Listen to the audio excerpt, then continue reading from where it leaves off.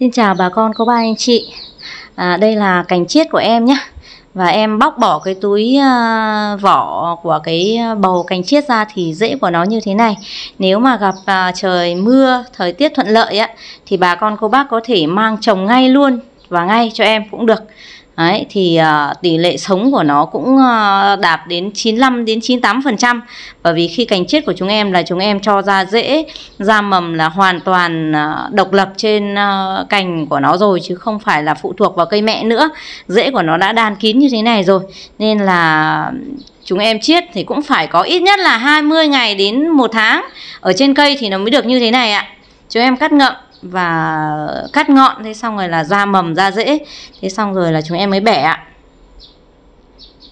Và đây cành đống cành chiết của em đấy. Em à, bóc ra như thế này. Xong nếu bà con cô bác mà không kịp trồng ngay á thì bà con cô bác hãy kiếm uh, cho em ít cát gọi là cát xây nhá.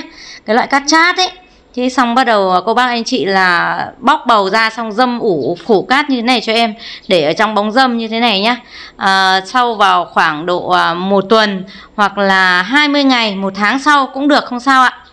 Đó, và đây cây này của em là em ủ 10 ngày thì à, nó dễ nó đã như thế này rồi. Nếu à, mà khi bà con ủ là cứ từ một tuần trở đi thì thời tiết thứ nhất là nó mưa hoặc là nó uh, mình à, làm xong đất rồi á thì là mình sẽ mang cái này ra mình trồng. Thì à, nó rất là đảm bảo và nó nhanh. Đấy chứ còn nếu mà bà con cô bác lấy cành về mà nó bị uh, uh, trời nắng á, thì mình trồng xong mình uh, chăm tưới nó rất là khó. Đây đống cát của em đây này. Đây gọi là cát này là gọi là cát chát nhá. Cát sông cát chát ấy thì là nó sẽ uh, ra dễ nó nhanh hơn.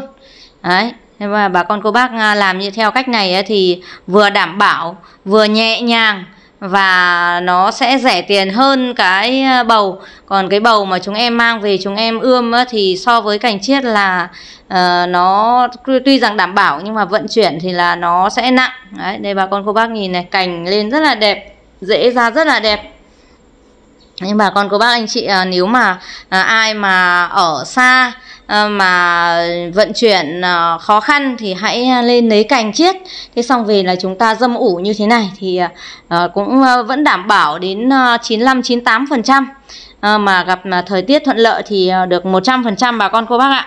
Thế nên là nếu bà con cô bác anh chị mà lấy cành của em về mà ờ, gặp bởi thời tiết trời nắng mà chưa trồng được ngay thì cô bác anh chị hãy làm theo cách này cho em nhé. Chúng ta dâm bầu vào một bãi thế xong rồi phủ cát vào thì khi nào Ờ, thời tiết thuận lợi thì chúng ta bỏ ra chúng ta trồng và cảm ơn bà con cô bác anh chị đã theo dõi xin chào và hẹn gặp lại